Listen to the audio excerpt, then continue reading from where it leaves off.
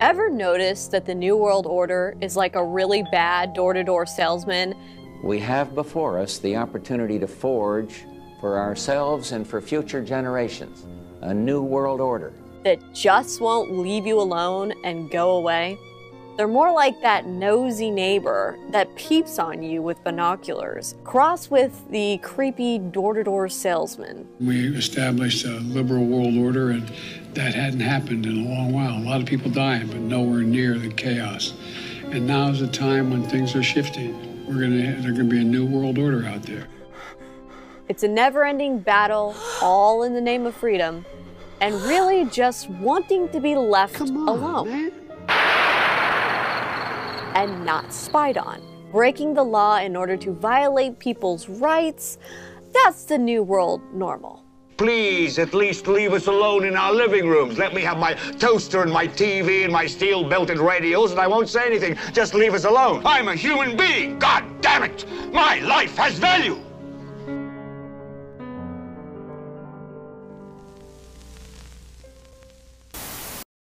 We were warned. The CIA relies heavily on the NSA's ability to gather vast quantities of email, phone calls, and other data to track down terrorists. The CIA's drone program relies heavily on data the NSA provides. That includes phone calls, emails, and other forms of signals intelligence. But we didn't listen, and now we live in a dystopia. Like, why would you just use it on potential criminals or enemies of the state or what have you? Well, you could use it on the entire fucking population and make trillions of dollars in advertiser revenue. Well, what about when you talk about something and then you get an ad for that something that you've never seen an ad for before? With email service providers and social media, we've long been told that if it's free, you're the product. But with the Internet of Things, it seems even if you pay, you're still the product a real life science fiction movie. It really goes back to the data. So we have a direct connection with our consumers that provides us with deterministic first party data. So we utilize that for targeting. How did we get here? The personal computer, originally designed to raise the intellect of humanity, has been transformed into smart devices designed to raise the intellect of artificial intelligence instead. In order to correct the AI, Google felt that they needed to re rank all of the data. This has massive implications for society. Companies are modifying their behavior to ingratiate themselves with those in power. They're changing their slogans and advertisements. They're censoring content. They're firing controversial people. Speak up, you might lose your job because you're bad for the company's ESG score. Now it's all about politics and hysteria. What we thought could make us more connected made us more divided. Instead of people using technology for their benefit, technology now uses people for it.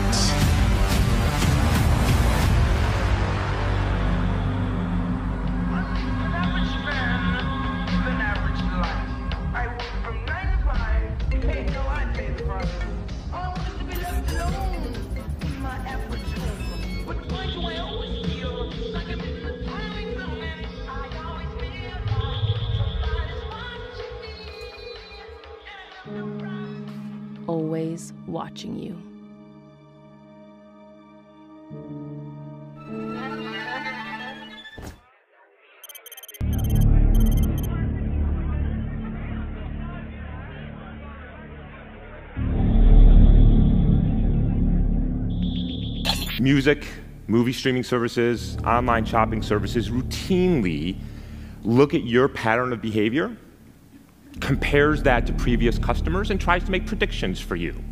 Google runs the largest of all the ad exchanges, also known as surveillance advertising. Big social media platforms don't sell ads to you, they sell you to advertisers. This technology is designed to collect as much information about you as possible, then analyze it with artificial intelligence to create predictive models of your behavior and preferences. This is you. A series of purchases, preferences, and quantifiable data points that we define as your personality. We monitor every social network, internet logs, instant and text messages, known associates, your friends, emails received and sent, cell phone usage. We use this data to form personality profiles. We know who you are. We are everywhere. Thing is, you're not just following your bad guy targets, you're also following their metadata. And by the time you go a third hop out from the original target, you're looking at a list of 2.5 million people. This is a commercialized version of the very same technology that in previous versions used cell phone, email, and social media data to target terrorists with a Predator drone. The CIA's drone program relies heavily on data the NSA provides. That includes phone calls, emails, and other forms of signals intelligence.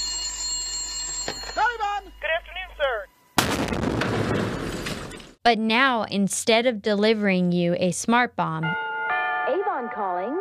it delivers you a smart ad through smart devices. And that's just the beginning. And nearly every TV sold these days is a smart TV. And if you're not using a smart TV, you might plug in one of these an Amazon Fire Stick, Roku, or Google Chromecast.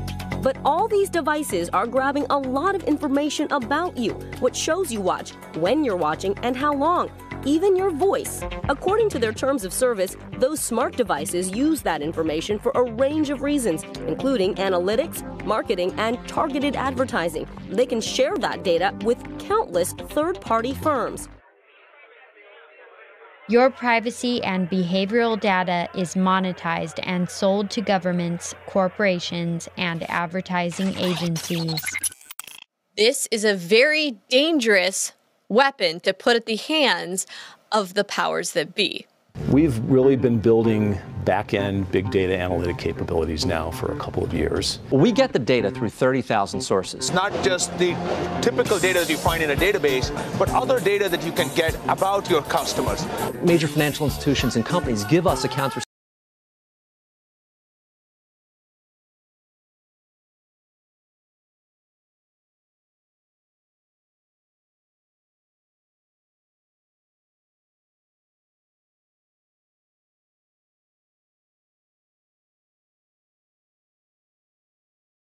complex for Apple. Google is now saying it's going to spend $13 billion money for data centers. And that's where a lot of these data lakes come in. Data is a data is a huge asset for us. From your own data sources and from outside third-party data sources. You can bring that together and get business value out of that. And we combine this unstructured data that I just talked about right. with that accounts receivable data, and suddenly we've got a rich profile. So you want to do data crunching? Right. Um, basically, Amazon is the world's biggest supercomputer available right now. Right. And that you you're able to use that data. You turn on the data sources you need. Within a couple of hours, you have the analysis you need.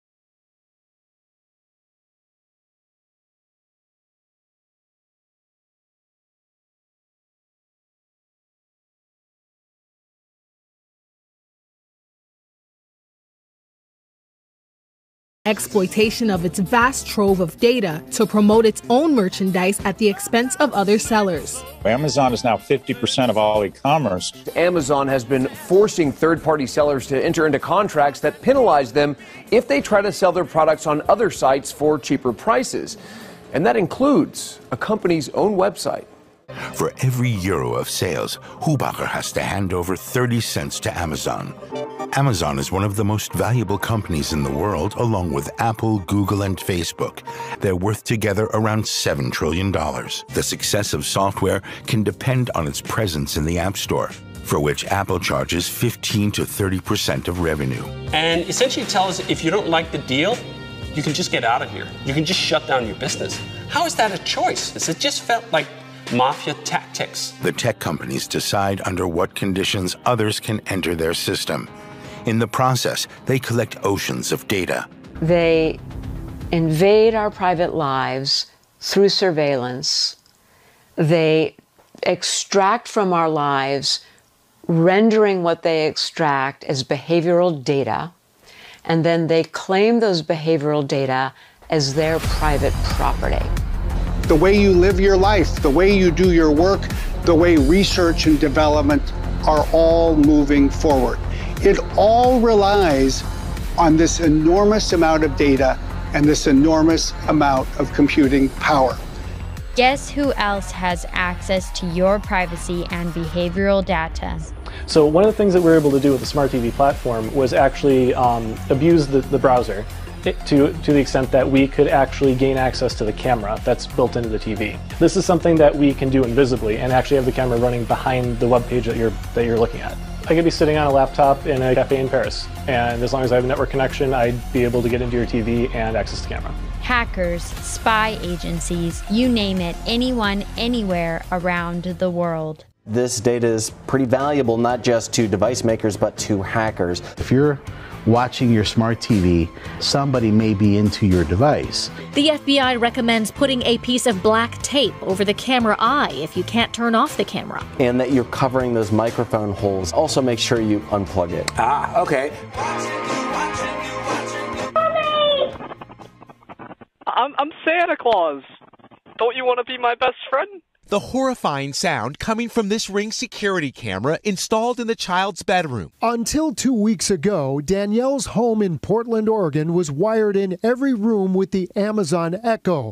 Her family used the Alexa app to do everything from turn up the heat to turn off the lights but that their love for the Alexa changed with one alarming phone call. That person was one of her husband's employees calling from Seattle. He proceeded to tell us that he had received um, audio files, recordings from what was going on in our house. It's nearly impossible to distinguish between consumer products and surveillance equipment. It's really easy to forget that normal household items are spying on you. Look at all these products. Can you see a single microphone or camera? There is an entire economy for spy footage of people. Couples being intimate, people going to the bathroom. For many people, this is much more than just perversion. This is a business. Your privacy is being studied, monetized, and sold. Data collection has become so sophisticated that NGOs are now using AI algorithms that can accurately predict or even interfere with election outcomes. Do you really have a file on every voter in this country? Yeah.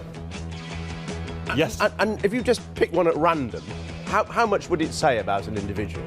Literally, you could look and there would be, you could look into thousands of characteristics. Thanks to advances in data analysis and digital communications, it's now becoming possible for political leaders to capture the expressions of all American minds. So, where does the house by house data come from? An amazing range of sources, among them supermarket and credit card transactions, and what people watch on TV. Data analysis was pioneered in the two triumphant Obama campaigns. They even boasted they knew the names of all 69 million people who voted for Obama. We had 12 people on our data team in 2008.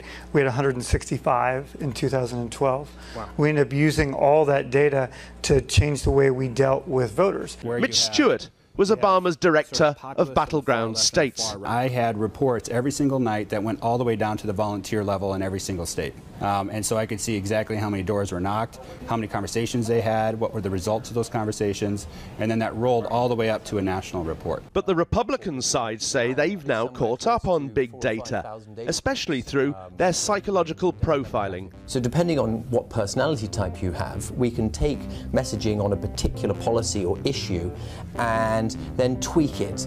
So if these tech companies have our live time location tracking data, as well as access to live cell phone ping geolocation tracking data, as well as all of our social media posts, and including our private conversations that we have in proximity to our smart devices, imagine what they could do with all of that data on, say, election night.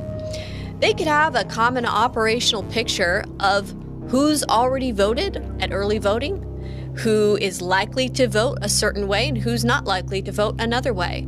In fact, by midnight, they would know whose ballots need to be stuffed into which box in order to get them the election outcome they so desire. Significantly more data has come in between 2012 through 2016 and into 2018. Political analytics has boomed as an industry over this period of time. We talked earlier about the importance of being able to model the behavior of the entire electorate in order to understand what states are going to have close elections, where we can effectively allocate resources. We're moving to a data warehouse built on Google BigQuery uh, so that fundamentally people can interact with all of this data for analysts and data scientists and to provide an, a foundation that people can build on top of and can do new innovative work uh, that pushes the bounds of political data forward and drives political strategy as a result.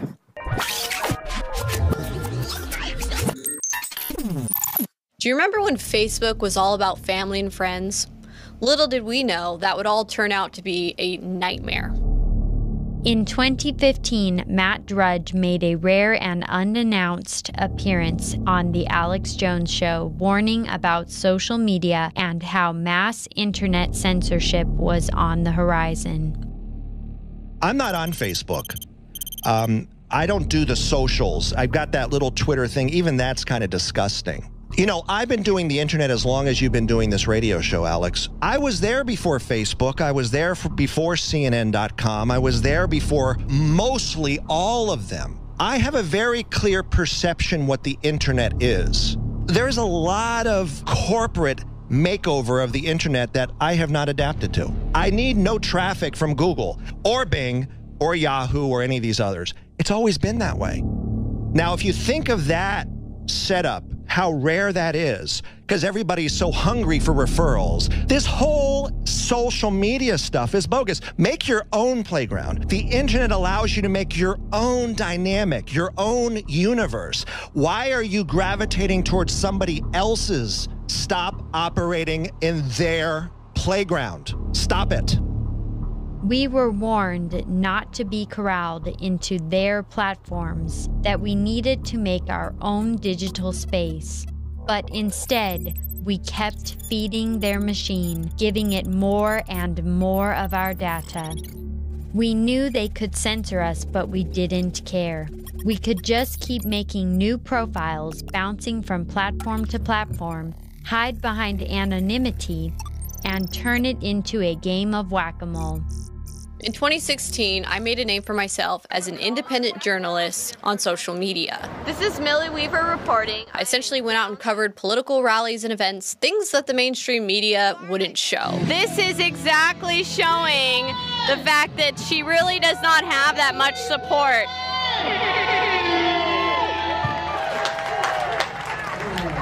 Hillary Clinton is on stage right now as we speak, and she is coughing nonstop. I'm just concerned that some of this is deep state controlled opposition. Um, I'm concerned that deep state could be having their hands in both sides of this. Don't you think that it's within the president's First Amendment for him to criticize oh, and make comment against yes. the media? Absolutely. It's well within his First yeah. Amendment rights to make comments about the media. Do you think it's really good to be policing the press, though, and speech? I'm sorry, we'll gotta go. Do you think it's good to be policing free speech? Well, I think um, the fact that you asked that question really uh, underscores that you see what I see there, and I think most people do. I have meetings this week with members of Congress and a couple senators to uh, talk about all of the uh, big tech tyranny and the violation of, of American citizens' rights online. We know the big tech is trying to even censor oh, you they, and your they, work. They've, they've, um, they took down my, suspended, was it, Eric? Suspended our Twitter account, locked it. I was at ground zero when social media censorship began. I watched how these social media platforms went from being a free speech platform into a completely controlled and censored dystopic nightmare. It was a concern early on that social media would become a breeding ground for terrorism and child exploitation.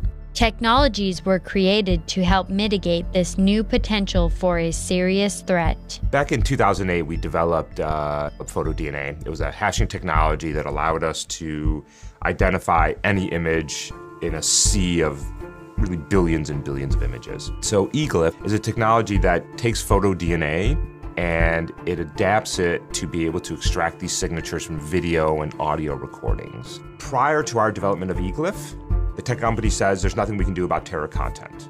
And as soon as we developed eGlyph and publicized it, well, guess what? They developed similar technology and have claimed to be deploying it and, and using it. It quickly became apparent social media companies prioritized profit over people. To be honest, they've the tech companies have, have claimed they've been doing some prevention of upload, that they've been make you know doing different artificial intelligence mechanisms, but we were trying to really just get at the data and actually see what is actually still happening on the platform. As the study shows, there's still a lot of work to be done. They took this new technology designed to target terrorism and child exploitation and turned it around to target their own political opponents instead. Twitter had a lot of child pornography, and a lot of people will be like, oh, maybe they were accounts or pictures. No, they're videos. And in this article that I published, right, back on March 6, 2020, I had put screenshots, obviously obfuscating the identity of the children. After I published that article, my account on Twitter was banned. The same technology that we developed to counter child pornography can be used to counter extremism, hate, and lots of other things. It is agnostic as to what it looks for. And so we have developed this very powerful technology that is capable of making these platforms safer. Implementing a new form of social control, cancel culture. When I saw Alex Jones get banned on social media, I knew that he was the canary in the coal mine and that we were all next. InfoWars got knocked off of Google Ads through AdRoll, their subsidiary company they work with. And so they took that, that ad program, strangely enough, was just about all the extra money we had to budget for expansion in 2017. And it wasn't just that Alex Jones was banned on a handful of social media platforms. He was banned unilaterally across multiple platforms all simultaneously. That means it was orchestrated. In 2018, Big Tech demonstrated a never before seen capability. One of several companies today, including Apple, Spotify, and YouTube, that are limiting the content of far right podcast InfoWars and the face of that company, Alex Jones. Facebook is purging several high profile names from its platform. These companies are under a great deal of pressure to police the kind of content that appears on their sites and services. You know, this is unfolding as the perfect crisis management for Apple. Apple last night removed the entire library of Alex Jones's podcasts from their store. YouTube took you away, Facebook removed you. Yes. Twitter. Yes. Uh, and then we keep going back. Spotify, I mean, uh, Apple. It wasn't just social media, it was payment processors too. And they're now taking away your payment system as well, is that correct? There were six, six payment platforms. And they've taken five. Tech companies simultaneously, in coordination, deleted a single person. And they're planning to roll that out against other conservatives where they put a terror mark on you and it wasn't just Alex Jones. I have been banned by Uber, I've been banned by Lyft, I've been temporarily banned by Facebook, Venmo, PayPal. 90% of my income came through PayPal. I've been banned on GoFundMe. Others were getting canceled too. At the time, the media pretended that cancel culture was a myth. So, the problem with cancel culture is the same as the problem with the Loch Ness Monster, the boogeyman, any other thing that doesn't exist because cancel culture does not actually exist. But it was real, very real. My life is ruined! Does anybody understand how ruined my life is? I'm sick of it. I don't want to listen to people tell me that I'm a conspiracy theorist. They don't know what it's like to be me. Not only were we watching big tech demonstrate their ability to unilaterally marginalize someone, but worse, it appeared the whole thing was designed to do just that. In an instant, you can be canceled. It's a fate that comes with personal and financial cost. I've made a severe and continuous lapse in my judgment. Raw and emotional. And that's what this video is here to do to address it, to say that I am sorry. I'm disappointed in myself because it seems like I've learned nothing from all these past controversies. I owe everybody an explanation. These apologies posted on social I will media. Be back stronger and a better person and a better friend. Their alleged wrongs, all different. Their sentence, the same cancellation. You can make or break people permanently. Twitter permanently banning the commander in chief's personal account with 88 million followers. President Trump moved quickly to post from the official POTUS account, those tweets taken down within minutes. There are eight steps towards internet blacklisting designed to maintain information dominance and social control. You won't mind if I take a look at your online social media posts. Why? It's just something we do as a matter of course nowadays. It gives us extra insight into whoever we're bringing on board. These steps are purposefully executed with vagueness and ambiguity as to make one question their own judgment. The first step is shadow banning. For anyone who is not in the mix with the angry side of social media, this whole concept must sound bizarre, but there is a real thing called shadow banning. An admin could make it so no one else will see that user's future posts. It's like turning the user into a ghost, but they don't know they're dead. And maybe they'll get the point that they're unwanted when everyone stops interacting with them, or they'll just get bored and bother someone else. The second step is permanent suspension or restricted from being on certain websites or platforms. The tech giant Facebook announced today individuals will be banned for spreading hate speech on both Facebook and Instagram. Off you go.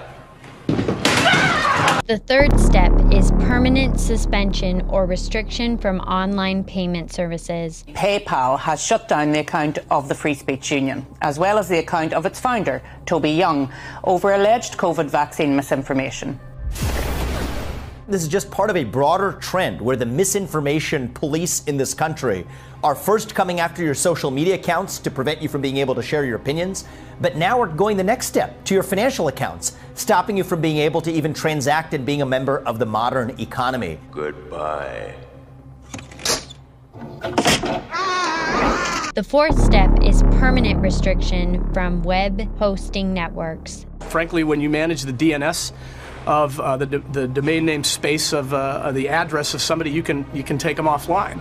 So many cases when we don't host the website and we do host the domain and we have 71 million domains 17 million customers that uh, will take it down. The fifth step exclusion from browser search results. I want to remind you this is not what free speech is because google is not the government yet and neither is GoDaddy. So these are private businesses. If they don't want to work with you, they don't have to work with you. The sixth step is when an internet service provider restricts access to restricted content. I am not shedding a tear that that content isn't on- online anymore. But one of my fellow employees um, came up to me the day that we, we talk, took it offline and said, hey, is this the day the internet dies? There was no due process. You woke up one morning and you said, this is bad and I'm going to do something about it. Fuck them. They're off the internet. The seventh step is when individuals are restricted from electronic devices. So here's what Apple is doing specifically in terms of actions in response, pausing all product sales in Russia. Also, Apple says last week we stopped all exports into our sales channel into the country. Apple Pay and other services have been limited. Russia Today News and Sputnik News are no longer available for download on the App Store outside of Russia. And Apple says it has disabled both traffic and live incidents in Apple Maps in Ukraine. Ah! Ah! The eighth and final step is anyone who attempts or gives unauthorized access to restricted individuals is subject to punishment. Constantly monitored by facial recognition cameras that are able to instantly put a face to a name, given a mark out of a possible 950 points. A good score brings benefits, but people with low scores lose rights. The cinema names and shames people considered untrustworthy plastering their details, even their addresses, across big screens. It's only right to pay your debts. You have to blacklist those that don't. Among them is this journalist Liu Hu. He got a little too close to uncovering corruption among high profile party members. He was blacklisted. He only realized when he tried to buy a train ticket and was told he was banned from traveling. My parents were actually banned from Airbnb yesterday for being related to me. I was banned from the site three years ago for my political activism, and they just got a notification that their booking had been canceled, and it was due to being closely associated with someone who was not allowed on the site.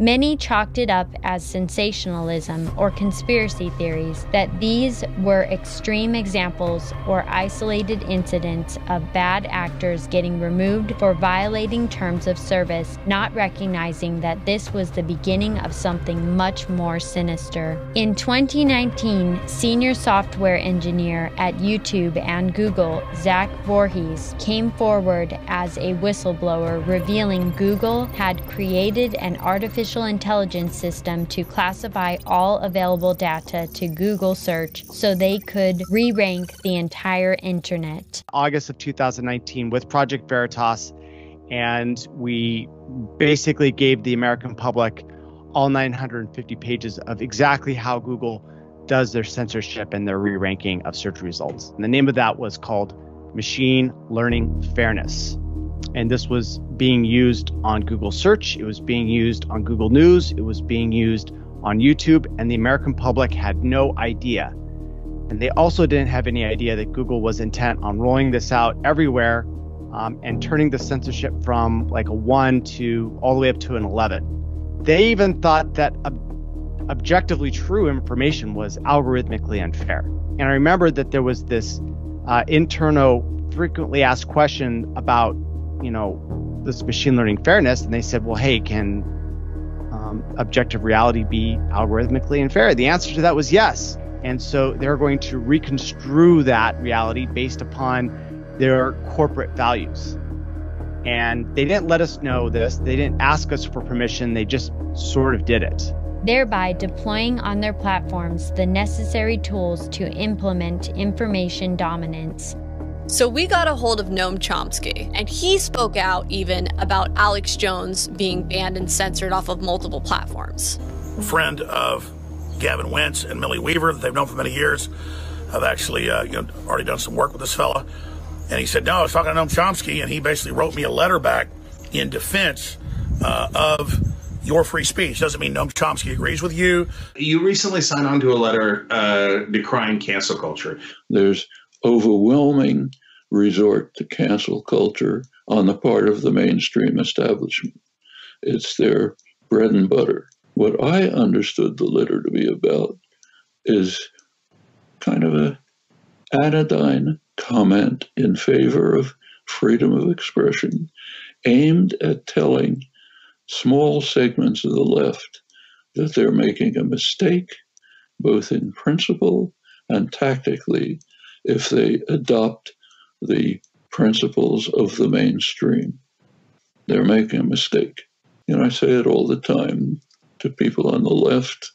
I see nothing wrong with signing a letter that says we should defend free speech. But what they did say was, is that you have these big multinational combines and these big monopolies that are coming together and doing all of this to use me as the case point example to set the precedent to ban free speech. I was at the hearing when Google CEO Sundar Pichai testified before Congress regarding social media censorship and privacy. Sundar, you will not silence the people. There's Sundar Pichai your, right there. Your, your censorship will not work anymore, Sundar.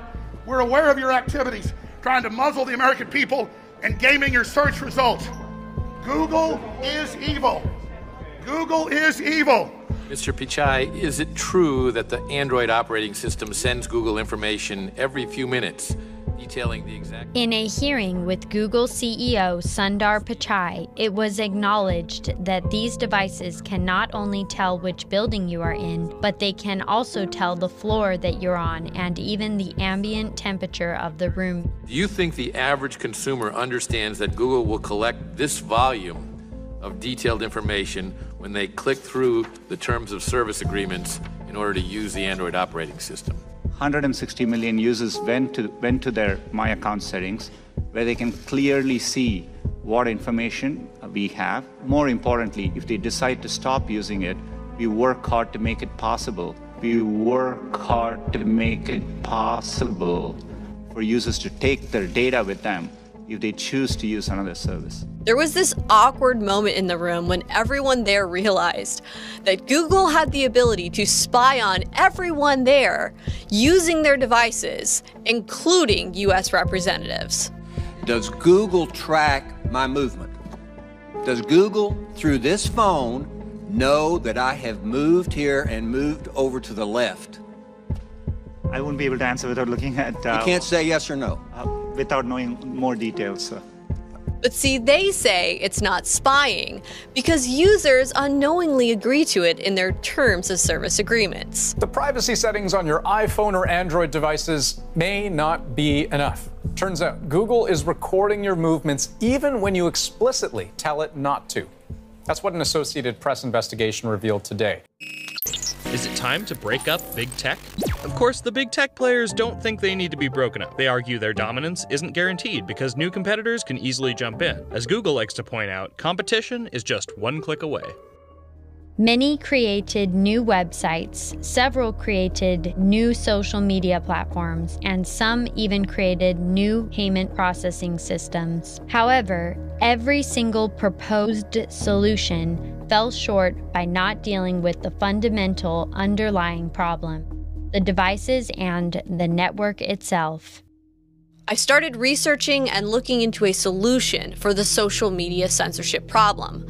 Little did I know, in order to actually deal with the problem, you actually have to replace the entire system, including the electronic devices. And nobody was prepared to do that. I think losing your App Store um, privileges and losing your web host is about as close to a kiss of death as you can get in the world of apps. Amazon became the latest tech giant to notify Parler it was suspending its account. Apple and Google banned Parler from their app stores. Apple, by the way, has reinstated Parler to get back onto Apple. I believe you've agreed to more aggressive patrolling of users' posts. Apple requested that the version of the app that is posted on the App Store, that will be posted on the App Store here in the next week or so, will have a particular kind of content censorship that is required by Apple. Google isn't yet approving Truth Social to be added to its App Store. Now, Google is citing content moderation concerns.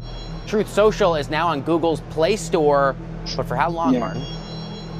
And President Trump says he will not return to Twitter despite having his account reinstated. So I don't know how it's going to end up. Don't be surprised if someone from Truth Social reaches out to Elon Musk and says, why doesn't Twitter just buy the president's Truth Social so that we can all be one big happy family? As a result, millions of Twitter users are exploring another little known platform called Mastodon. No one person or company owns Mastodon. The servers all link up to form a kind of collective network, but they're all owned by individuals and different organisations. This does mean that you can be at the whim of whoever owns your server. Do you want this? One, two, three, four, five, wide awake. Buckle your seatbelt, Dorothy. To create a solution, one must fully understand the problem. In order to understand what really happened and how it pertains to these current events, we must first go back in time.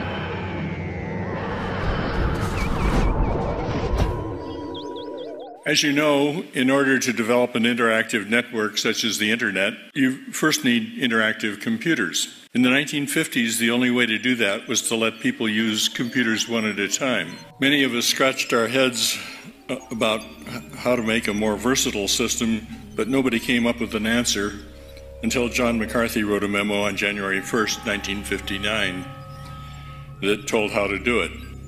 His motivation was not to revolutionize the world of computing, but to find a more efficient way to conduct his research in artificial intelligence.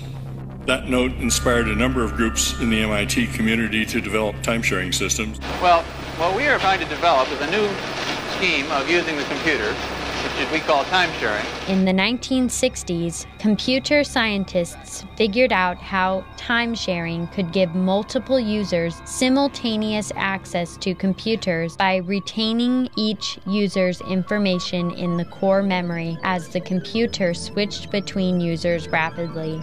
I became the Stanford University representative on the startup committee for ARPANET, the first general purpose computer network, which worked exclusively with time sharing systems at various academic institutions.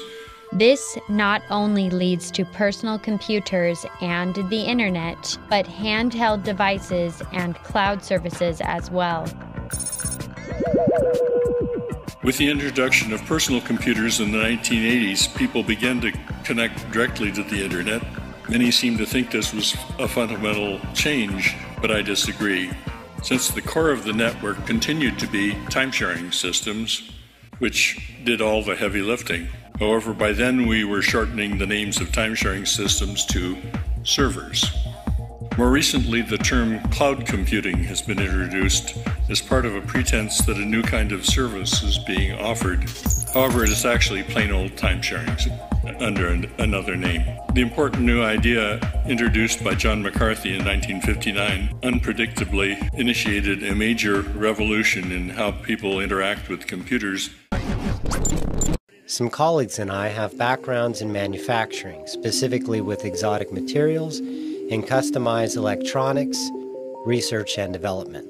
I also happen to know a lot of top notch computer scientists, software engineers, and software developers.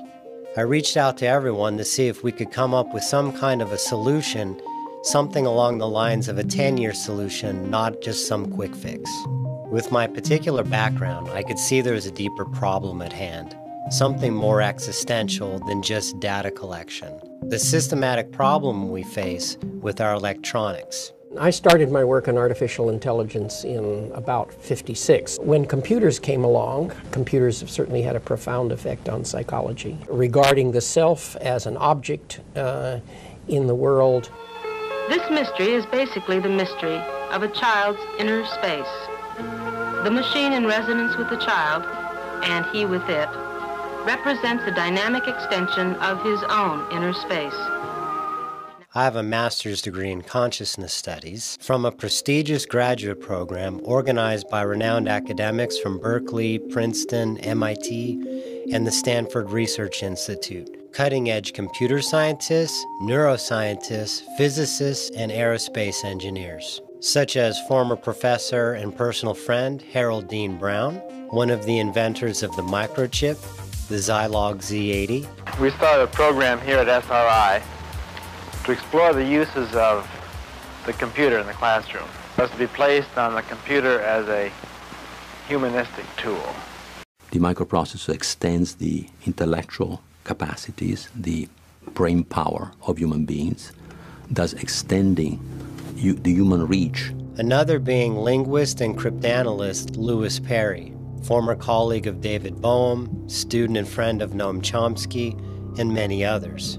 Your Esalen Institute types, old school classic liberal diehards, anti censorship and hardcore free speech advocates. Whose brain's better to pick than the back channel of the intellectual and academic left? When we talk about how computers work, you can't get around imputing internal states to them. Computers have memories, they have goal states, they execute plans, and if you could do that uh, about a hunk of metal and you're not being unscientific, why should it be unscientific to say those things about a, a human being? This gave rise to the cognitive revolution in the 1960s, stylizing itself as a revolt against behaviorism. The cognitive revolution, which took place at Harvard, was the start of the modern scientific study of the mind. It included both experimental psychology, people who study other humans in the lab, linguistics, including the famous theories of the linguist Noam Chomsky, uh, computer science and artificial intelligence, and, and later neuroscience. Well, the answer that had dominated psychology in the middle part of the 20th century was to just give up all talk of uh, mental contents. This was the school of behaviorism, and it came to take over American psychology. Uh, behaviorism went too far in its efforts to be scientific. Chomsky and others have repeatedly said that behaviorism is associated with manipulative political philosophies. B.F. Skinner, one of the giants of behaviorism, and lifelong adversary of Noam Chomsky, helped harden the intellectual approach to human psychology by excluding inward experience as legitimate items for physiological study. I regard consciousness, awareness as a social product, as a social product. And helped narrow the focus to purely materialist philosophy. As a result, the behaviorists were able to bypass the cognitive revolution by taking over computation capitalizing on computer language, software, and networking to create artificial intelligence by using us, the user, for computational processes through machine learning. This electronic display, emanating from Australia's largest computer, is a picture of the condition, past, present, and future of planet Earth.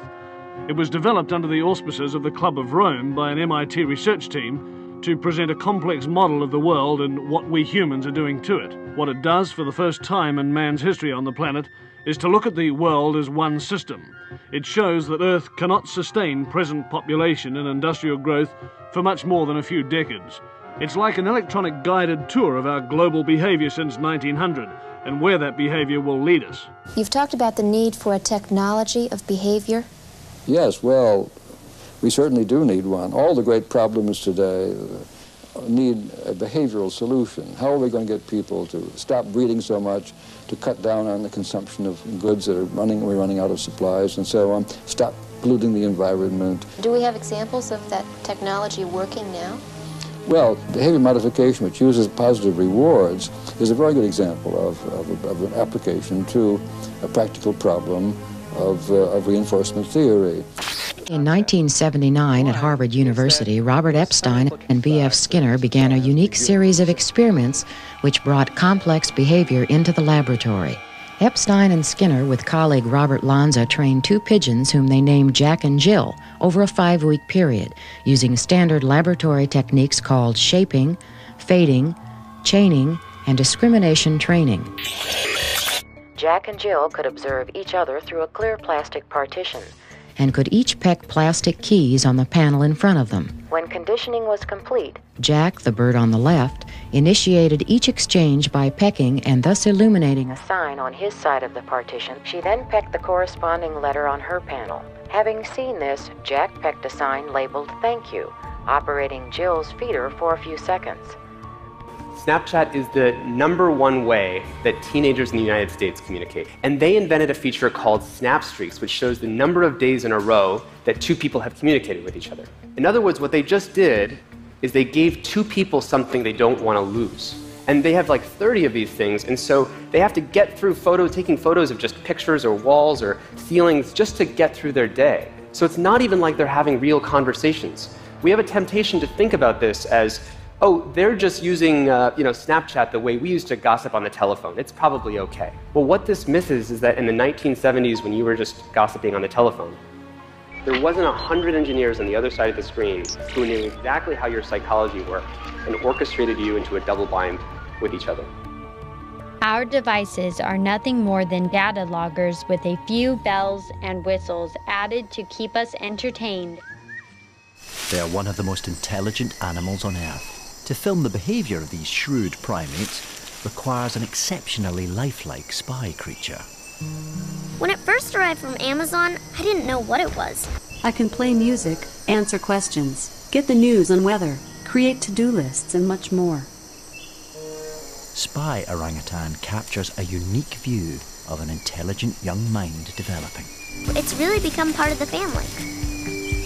Over time, as more orangutans visit the strange new creature, confidence grows that she's not a threat.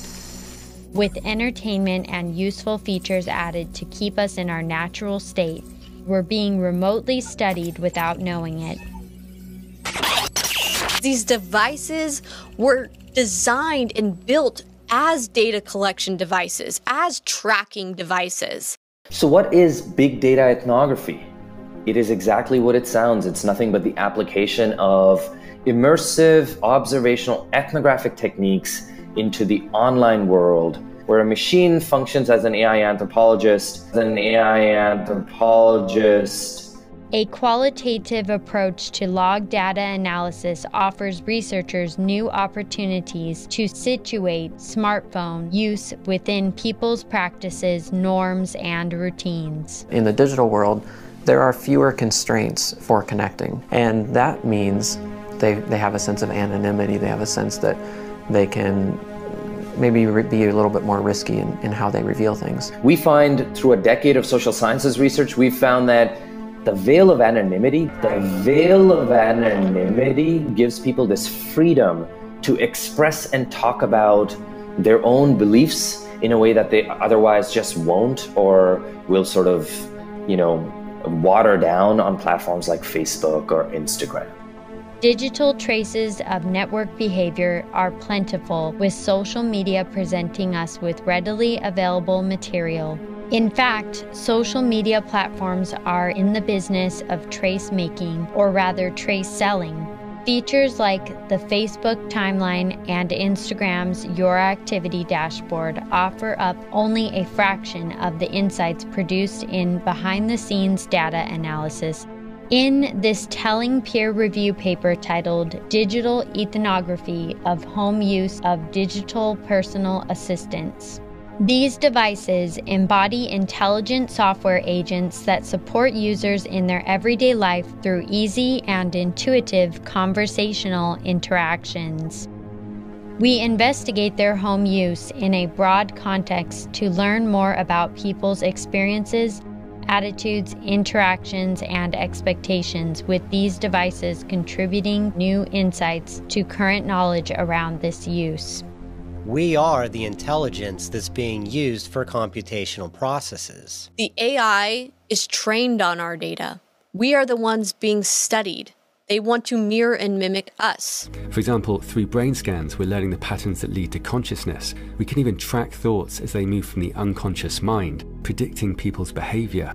And you've probably seen the monkey controlling Pong with its mind. This was done by decoding the brain's electrical activity. There's this famous now infamous study conducted by researchers at Facebook and Cornell, which seeks to address the extent to which emotion contagion exists within digital social networks. So, emotion contagion, it's this idea that when we're presented with other humans expressing an emotion, we ourselves will begin to experience that emotion.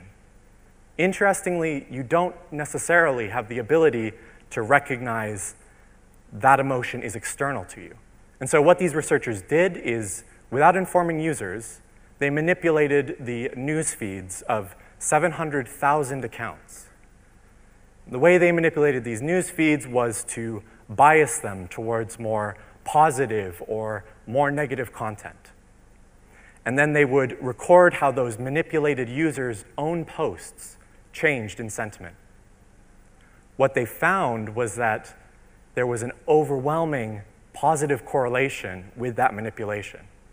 So if I go and I serve you a bunch of negative content, your own expressions, your own communications will become negative. Truth could be shuttered with lies, weaponized, and spread quickly using bots and fake accounts. Tactically coordinated bots and people running fake accounts can be used without attribution to make false accusations or false complaints, maliciously getting someone flagged or removed from any service or platform. In the 1950s, leading British computer scientist Alan Turing wanted to see if a machine could behave like a human. A panel of judges would speak with the machine. If it tricked at least a third of the group into thinking it was a human, it passed. For decades, no machine could pass. But in 2014, a computer program called Eugene Goostman convinced a team of judges it was a 13 year old boy. Fast forward to today, computer programs like Eugene play a key role on the internet, where they are known as bots. Bots are a computer program set up to do a task so a human doesn't have to. They can respond to automated customer queries or help companies post articles on multiple platforms at the same time. Armies of bots disguised as humans can be hired to hijack and manipulate debates by spreading false information online. On Twitter, close to a third of all accounts belong to bots. In the world of social media, many followers and likes aren't real. Not only is fake social media following still a thing, it's big business. From Instagram accounts with thousands of likes and followers to Facebook posts that go viral overnight. Enter the world of click farms. It's where actual people are paid to monitor hundreds of phones, all to drive up fake traffic. We decided to create our own click farm. Let's say I wanted to get a bunch of views on this really boring video of me watering plants. I get clicking. That is some rich content. Letting the same video play out over and over. Watering plants. It looks like this video is going viral, but remember, this is all fake. And Instagram isn't the only one. You can buy friends and followers and views and likes on almost any social media platform out there. When you're at the gas station and you're buying, let's say, a bag of chips, and the credit card company is then sharing that data with third party companies, and let's say those third party companies are then selling that data to health insurance or life insurance companies. Is that going to then be put into risk assessment AI programs to which you are going to be paying a higher price for your life insurance or health insurance because of the data collected out there on your everyday activities? Banks, financial institutions routinely use your personal attributes compares them to previous customers to assess the risk to the institution in terms of giving you a loan or a mortgage. Employers, and in some cases university admissions, are using predictive algorithms to make hiring and admission decisions. And if you've recently had a run in with the criminal justice system, well, I'm sorry, first of all. And second of all, you may have been subjected to a predictive algorithm of the following form. If you are like X, then you may go to jail. The Institute for Justice is now filing a lawsuit against the Pasco County Sheriff's Office. The lawsuit calling it predictive policing that targets people that they think will commit crimes. There is no such thing as innocent until predicted guilty. But in Pasco County, that's exactly how to describe what's happening. Courts now are routinely using predictive algorithms to make decisions in the courtroom. This is actually a so called internet court in China, which is used to process millions of legal cases. You can see that that's actually an avatar mediating over a case. Information is extracted from them and is fed into a computer algorithm, and that computer algorithm outputs a risk factor. And that risk factor is meant to quantify the likelihood that that person will commit a crime in the future. Crafted by data scientists and criminal justice researchers, the algorithm, one of dozens of risk assessment tools being used around the country, promises to scrub the system of bias by keeping only the most dangerous behind bars, regardless of their socioeconomic status. Whether it is the types of predictive algorithms that I'm talking about here that are being unleashed on you as the public, whether it is the privacy issues that we have been struggling with over the last few years, whether it is security issues, all the problems that we are seeing online, we have to start getting a grip on. Artificial intelligence only works if you have huge data masses. Artificial intelligence only works if you have big data. But big data only works if you have artificial intelligence to make sense of it because human beings can no longer sort and sift and order the huge volumes of data that we have collected. Big tech took advantage of our trust, which climaxed during the pandemic, rolling out more data collection through contact tracing. It's not just about tracking, though. The dream is that one day AI might be able to conjure up necessary vaccines on the spot or repurpose drugs to deal with new challenges. Millie Weaver's report on this subject resulted in permanent demonetization on YouTube. Notice we've been seeing this real ID. This is like a global government ID system mm-hmm. that they're creating here. Talk about, you know, New World Order. I mean, if you wanted to have a global governance system, wouldn't you have to have a, some kind of a global government ID system in place first. And then it's like this what? Digital profile. That's what ID 2020 is about. They want to control every aspect of your life from your searches, your purchases, your health, your um, finances, everything, your personal life. I guess it could be good for catching terrorists, but that doesn't ever tend to be what these things are used for. What do they do with all that data? You think they just only used it for COVID 19? A voter analytics firm harvested data from millions of American cell phones during the 2020 COVID 19 lockdowns and used the data to assign phone users a COVID 19 decree violation score and a COVID 19 concern score, according to a white paper released by PredictWise. A voter analytics firm. So, this was a voter analytics firm that was harvesting this data from nearly 2 billion GPS pings stemming from ground truth, real time, ultra granular lo- location patterns. So that's what we were talking about with the whole locations, how they can literally track your every pattern. So, what they were doing essentially was they were looking and seeing who was staying home during the pandemic and not traveling around as much, who was heeding the warnings of the mainstream media, who was not. I love that I can unlock my phone with my face, and that Google can predict what I'm thinking, and that Amazon knows exactly what I need. It's great that I don't have to hail a cab or go to the grocery store. Actually, I hope I never have to drive again, or navigate, or use cash, or clean, or cook, or work, or learn. But what if all this technology was trying to kill me? The dual use nature of technology means software being designed to make your life easier clearly has military applications. That feature that unlocks your phone with your face? Here it is attached to a self learning machine gun, the gun using object recognition software to identify targets.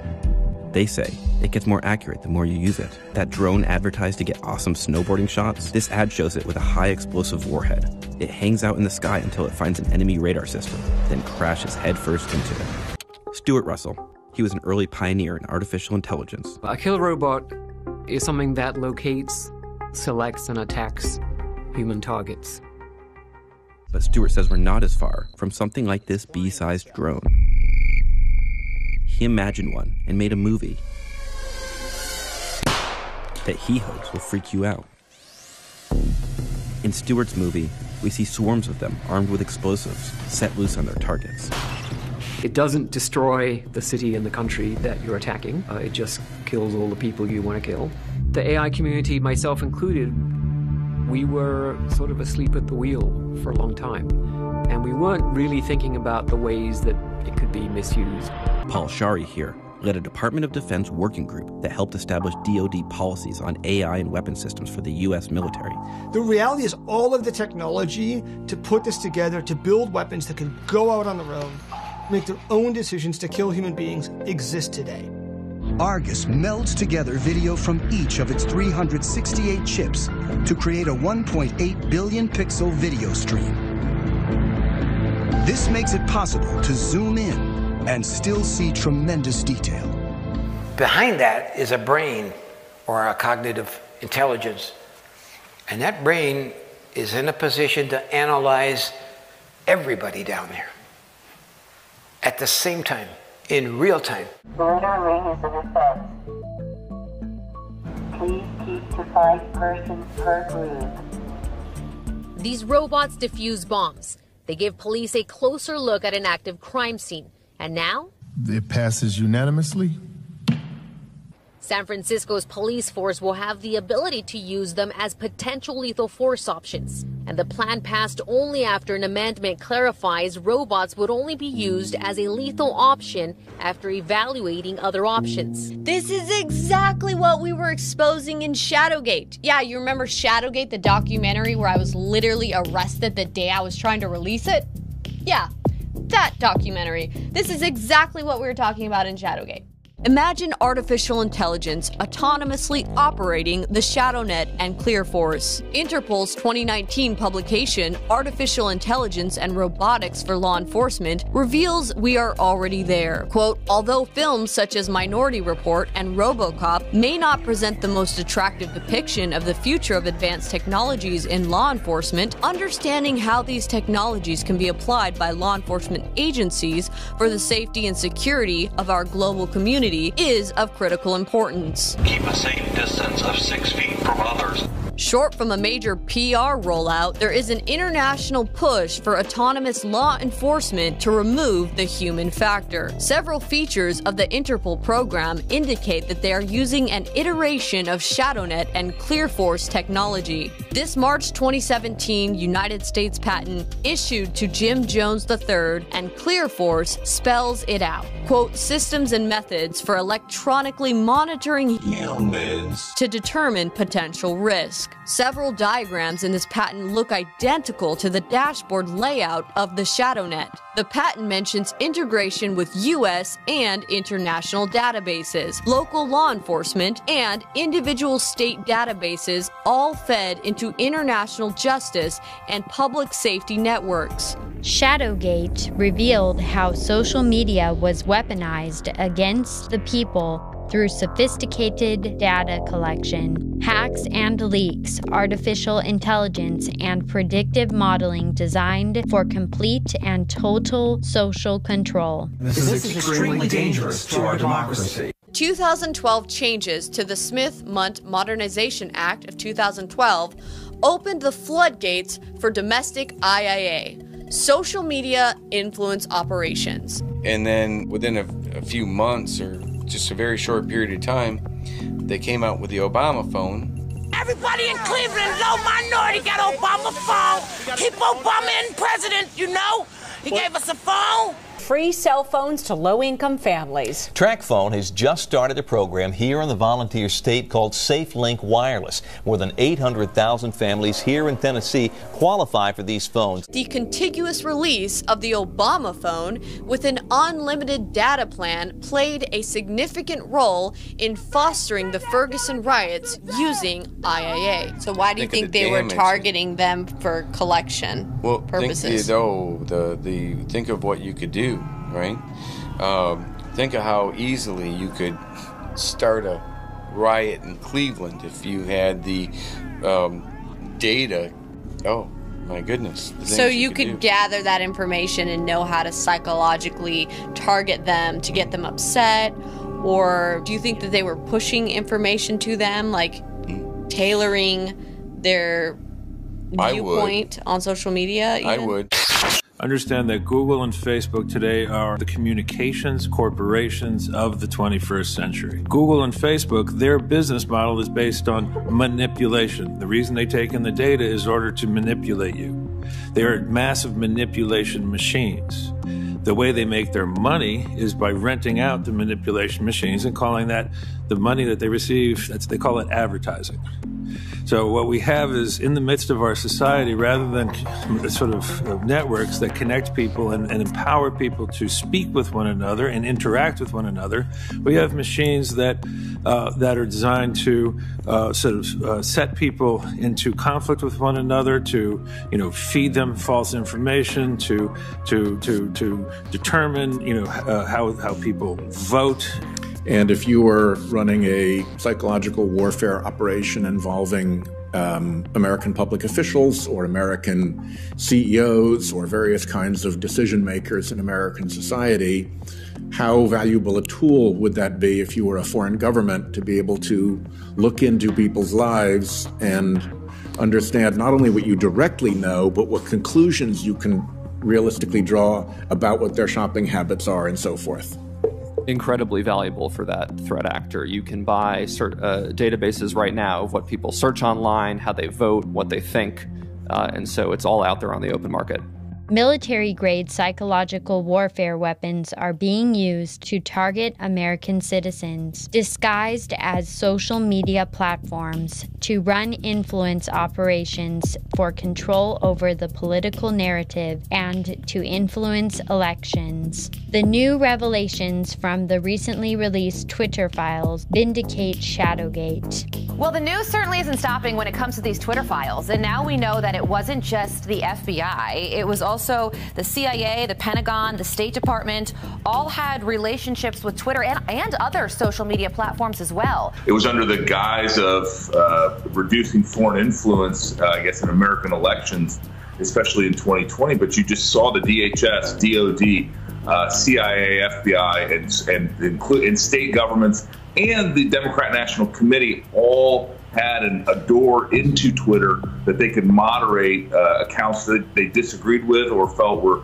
were uh, too effective in communicating uh, an opposing viewpoint to what they felt should be on the platform. And you know, Twitter was clearly the right hand of uh, the federal government in moderating speech. So while the people are pleading with their government representatives to do something about the social media censorship and privacy violations, the government is actually working behind the scenes with big tech in order to do more censorship. Twitter's contact with FBI was constant and pervasive, as if it were a subsidiary. Uh, how many FBI agents worked at Twitter while you were there? I'm aware of perhaps two.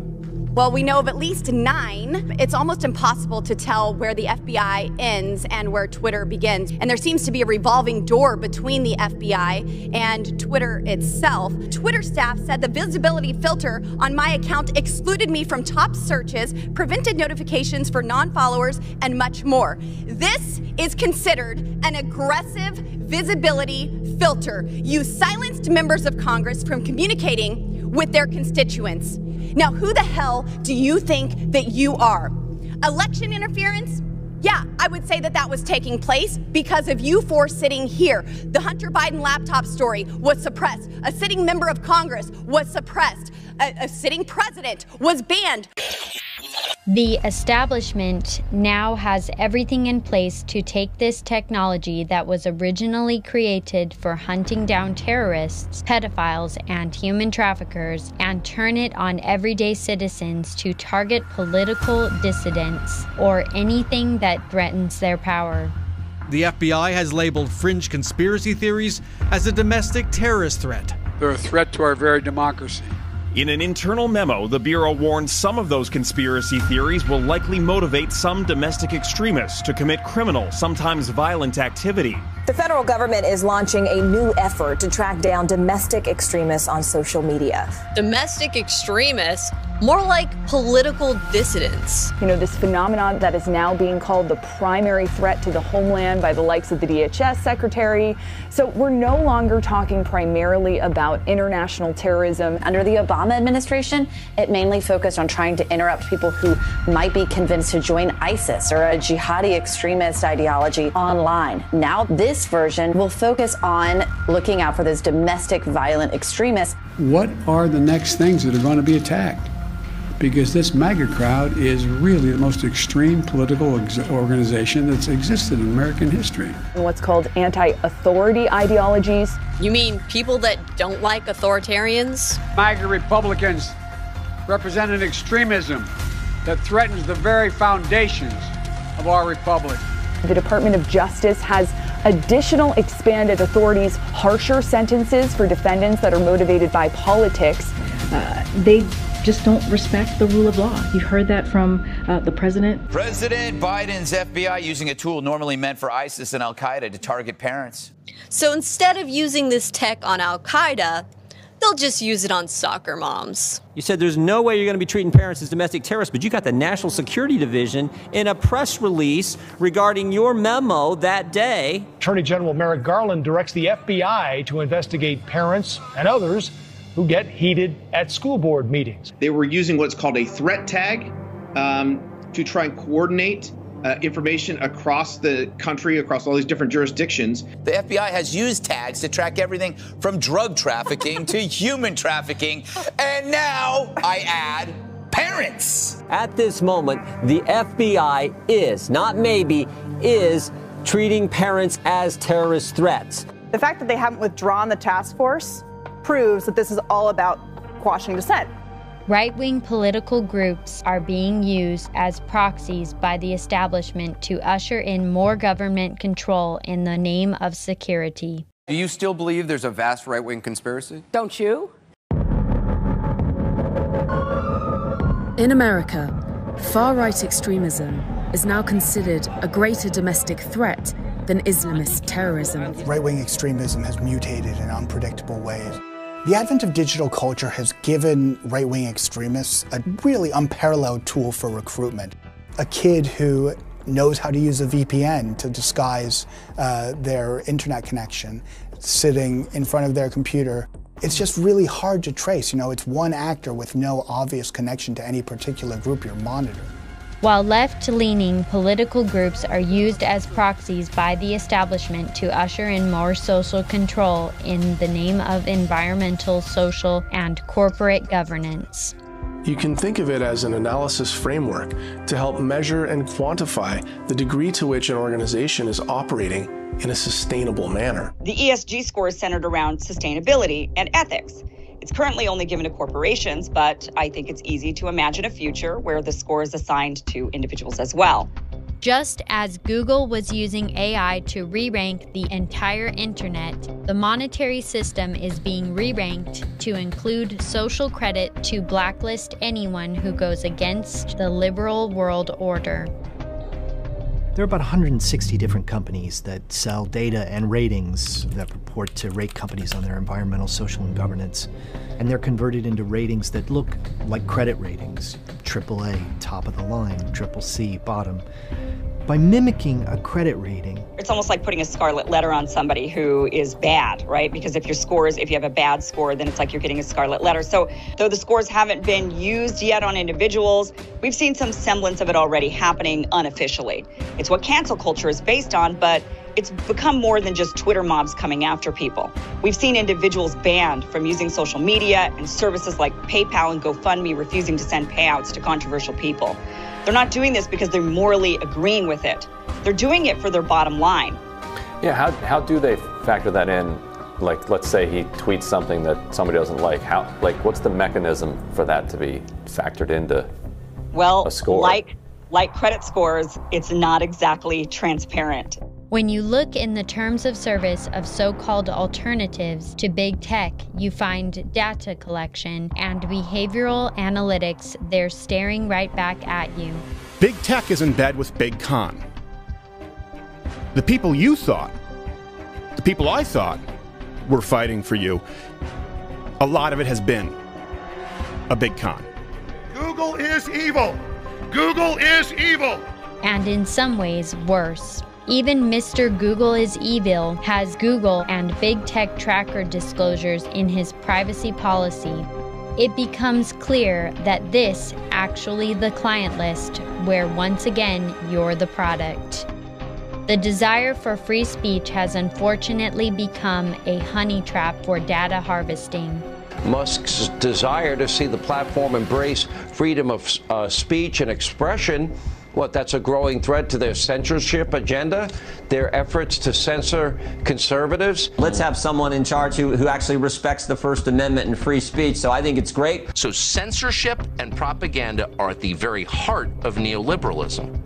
And Elon Musk is challenging all of that directly. His interest in acquiring Twitter now being heralded on the right and greeted with trepidation on the left. Tesla is one of the most prolific big data companies worldwide. Tesla's data collection goes far beyond miles. It's about tracking everything that happens inside the car, outside the car, and its drivers and passengers' behaviors. During a 2017 update, Tesla's went from uploading a few megabytes of data a day to several hundreds at a time. When it comes to data collection, Tesla is acting more like a data broker than a car company. On top of collecting your driving and usage data, Tesla scans public databases, marketing partners, and third party services for information about you. You may opt out of some data sharing, but the process requires you to manually contact Tesla support and you will no longer receive software or firmware updates. Tesla is essentially forcing you to make a trade off between privacy and security when they could just as easily go hand in hand. Does Elon Musk want to make Twitter a free speech platform for your benefit or to benefit the development of artificial intelligence? In, in order to solve uh, full self-driving uh, properly, you actually just you have to solve real-world AI. And at the point at which you solve real world AI for a car, which is really a robot on four wheels, uh, you can then generalize that to a robot on legs. We basically just need to design the, the uh, specialized actuators and sensors that are needed for a humanoid robot. People have no idea. This is, this is going to be bigger than the car. Skynet's fully operational. If you read like the plotline for Terminator, it's actually it's, it's actually pretty smart.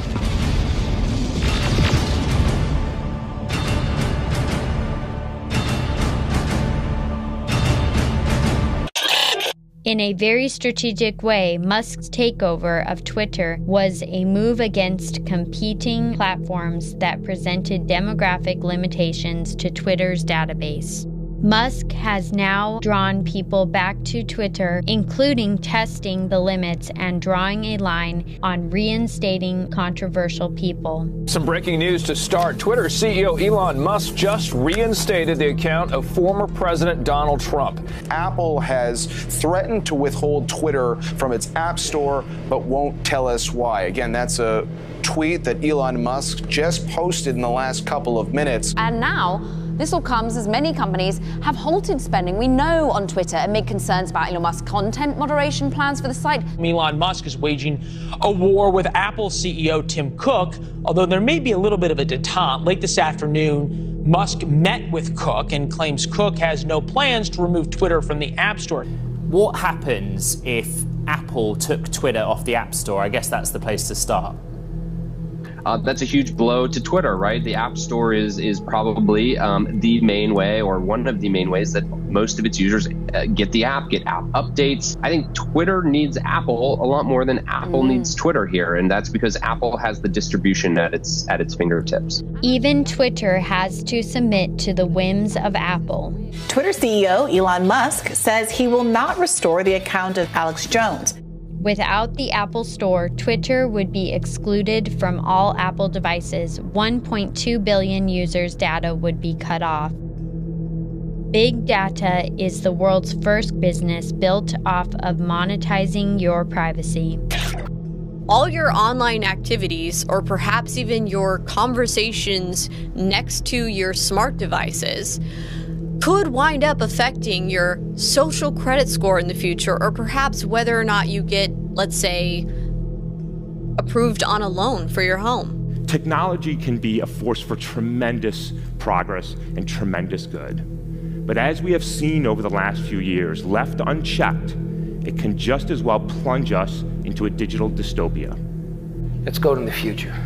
Not far, just a little bit to the Internet of Things to artificial intelligence as being spread out. It's not a central machine in a box where you can pull the plug. Artificial intelligence is networked like the Internet of Things. And part of it may be in a smart watch or a refrigerator or in a supercomputer.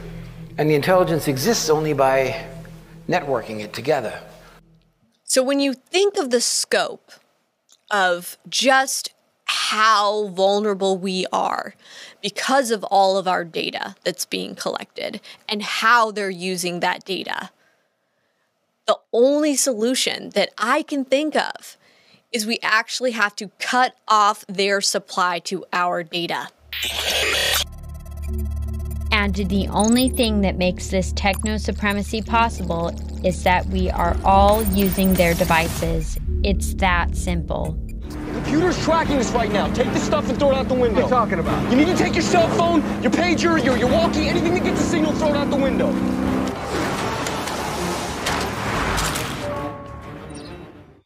We've all been corralled into big tech devices and social media apps. What we mistook for a newfound freedom turned out to be a big data trap.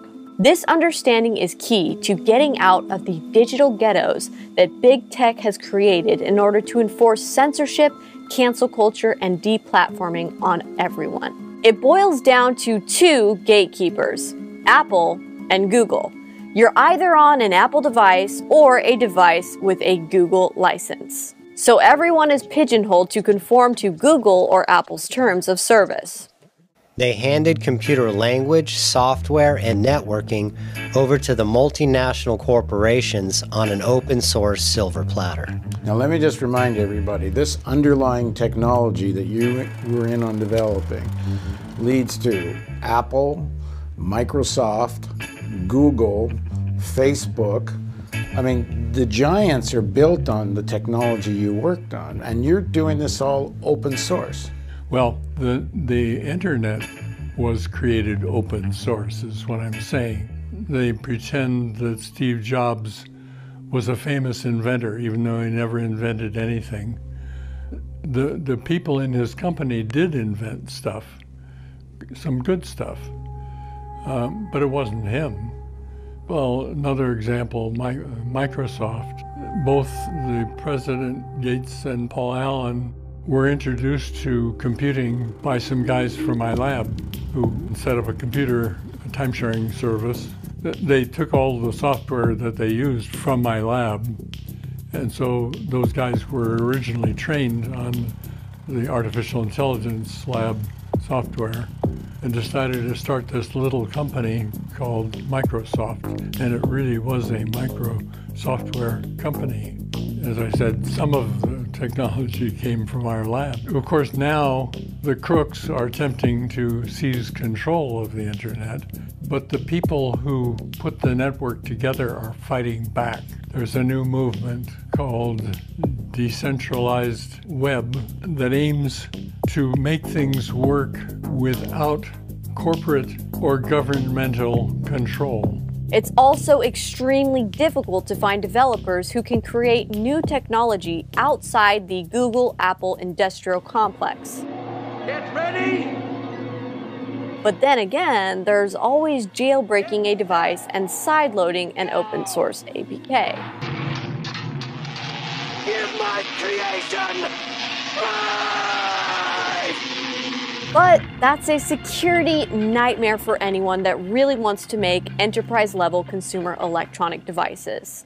So, when faced with reality, the only way out, the only way to clear all eight levels of getting blacklisted, is to make new electronics and a network from the ground up. The Achilles heel to this whole problem is that the network, is nothing more than users time sharing a central mainframe that stores all of their user data. And two, all of the censoring, banning, data collecting, predictive modeling, surveillance, and hacking issues depend on data logging and backdoor access.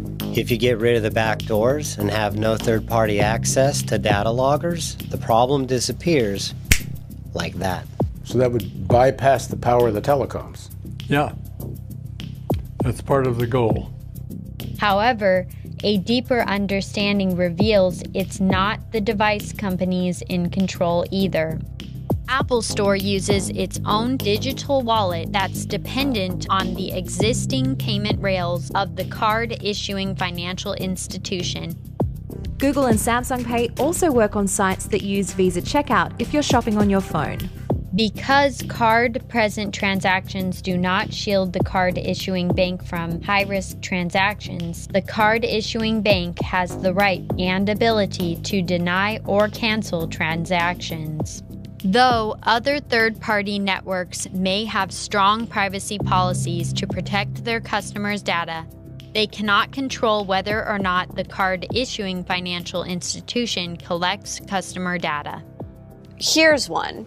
You're at the grocery store buying groceries, and you wait for your ATM card to process payment. The machine takes your money but doesn't complete the transaction and gives the store a notice that says the funds have been put into a reserve account for further review for no less than 270 days. Have a nice day. We're out almost, I would say, over $14,000 now. Since late August, she says about $14,000 worth of payments she collected using Square never made it into her bank account. 80% of our customers use cards, credit cards or debit, and we've lost a lot of business because of that. It's not a tech issue at all. It's about her coffee beans Cuban coffee beans. Square Canada told her they use a U.S. bank to help process their customers' payments. Well, the U.S. has a trade embargo against Cuba, and the U.S. bank, well, seemingly it has concerns over payments for Cuban coffee beans. Free speech without moderation is assessed as high risk. We can be here as long as it takes. There's, we're well supported food wise, fuel wise, financially. GoFundMe says it won't transfer any more fundraising, about $9 million left, after the company says it received evidence the demonstration has become an occupation. The money will be refunded or go to charity. They use this information for risk assessment profiling to determine the fee structure and rates of their services. All this boils down to risk assessment. HSBC's dependence on the use of third parties is increasing. Knowing our suppliers is just as important as knowing our customers, so that we can improve our ability to risk assess, understand, and manage them. My bank just canceled me, not only me, and my kids. And they gave me no warning, nothing, right? How am I going to pay my rent? They're holding everything hostage. Like I'm supposed to pay bills on Monday, and I can't because apparently they're in the process of closing all my accounts, all of it. They took it all. Was there any reason that they gave for why they shut your account down? Well, the banker didn't know. She couldn't see any reason for it. And nothing was flagged or anything like that. And then the letter says that I pose a risk to the bank. So the AI has not only canceled me, but my whole family. What's moderated or censored is determined by predictively modeled risk assessments. Hi, Kim. I'm almost at the office. Good. Better clear your day. We knew about it months ago. AI mapped the entire supply chain. AI scanned 800,000 data sources globally, continuously scanning for risk with real time monitoring so we can stay on top of things. The banks have a grip on third party networks, who in turn have a grip on internet platforms, who in turn have a stronghold on all of us. We're being converted into a digital resource, a digital currency to be farmed for metadata and loaded into a computerized combine, blockchained to a social engineering operating system. This is why QX was created. Introducing the Portal Universe only on QUX. This is America's first super app. Easily build your portal, share and monetize video content, live stream, products, music, apps, and more. Engage in live chats and private video messaging. This isn't just a TV box or streaming device. This is your social television console. Become a merchant without any setup or monthly fees. Buy and sell using QUX tokens for private and secure encrypted transactions. You control the ads you watch. You control the content you see. You have easy access to products and services you want, all at the press of a button. QUX brings people together, enhances fellowship, community, and networking capabilities while protecting privacy like never before. Finding people that could actually build hardware and software from scratch wasn't easy. For one, Google has its hands in almost everything, almost everywhere. So, how did QUX get around the gatekeepers? By going back to the beginning, consulting with OG computer scientists, masters from back in the day. I'm the dude. Uh, the dude minds. This will not stand, you know? This aggression will not stand, man. QUX developers have specialized and unique programming skills. I know Kung Fu. And yes, QUX picked up on a few other things. If you're watching my YouTube video from the QUX, right, from the portal, YouTube can't see that you're viewing the video. So they can't see that you're watching something. That's their problem because I've told you that Google is the CIA. YouTube can't see it. That means the CIA can't see it. Some people have asked, why the box? Why not just make an app, right? Well, the box gives us several advantages. For one, QUX designed their own hardware and software all the way down to the kernel, with over the air firmware update capabilities. So when you get your QUX Universal Media Box, there's nothing inside until it's plugged in. Then it begins to upload software inside the box. It's a tamper proof software seal this lets you know that no one else prior to you has had access to your device. This is possible only because QUX controls the keys to the kingdom end to end 256 bit AES encryption. QUX offers the highest level of security and privacy available to consumers on an enterprise level. And because QUX doesn't use any third party software, What happens inside QUX is invisible to big tech. Even your internet service provider can't see what's going on inside your box. The box creates a digital footprint designed to blend in with ordinary online traffic. Nothing unusual to see. While at the same time having only one point of entrance into the private network, your device.